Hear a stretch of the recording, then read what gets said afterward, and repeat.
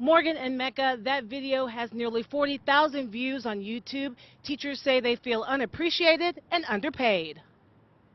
I need to be paid an honest wage. I need to be valued as a teacher. Teachers speaking candidly. Um, when I found out I was coming to Oklahoma, I was not happy. It's one of the lowest paying states for teachers. More than a dozen expressing their passion for education while voicing deep concerns about poor pay, the teacher shortage, over-testing, and unrealistic job demands, hoping for a solution to a system they say is broken. Everybody loves to yell from their megaphone that teachers deserve more, but nothing's getting done. We're not, not on the attack, not attacking anybody, but these are the issues that we're faced with. Moore Public Schools' superintendent says it's time to join forces to come up with long-term funding solutions, such as a sales or gas tax, and to focus on assessments for students that enhance learning.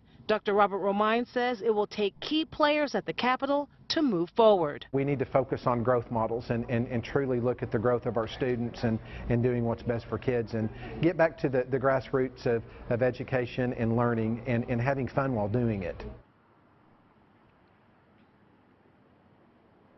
State representatives and officials are aware of those teachers' concerns. We'll hear what they have to say tonight at 6. Live at Moore Public Schools, Patrina Adger, KOCO 5 News.